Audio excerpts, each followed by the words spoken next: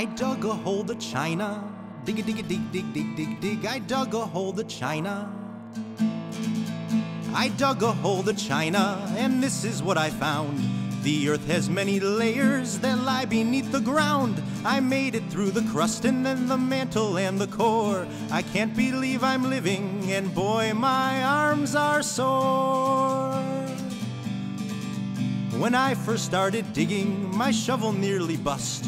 I hit a hardened layer that we know as the crust, but I soon found a section where the crust separates. I think it's called the fault in between tectonic plates.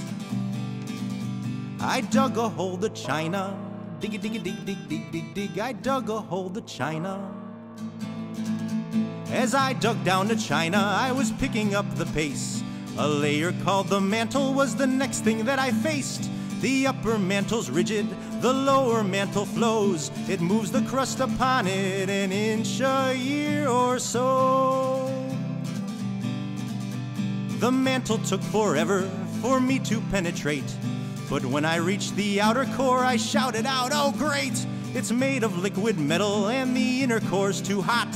More sizzling than the sun, but I'll dig with all I've got.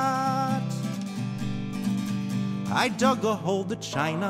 Diggy diggy dig dig dig dig dig. I dug a hole to China. I made it through to China, through more mantle and more crust. Some magma gave me problems, but I would soon adjust. When I popped out in China, the people all exclaimed, Next time you come to China, you should take an aeroplane. I should have flown to China. Fly, fly, fly, fly, fly, fly, fly, fly.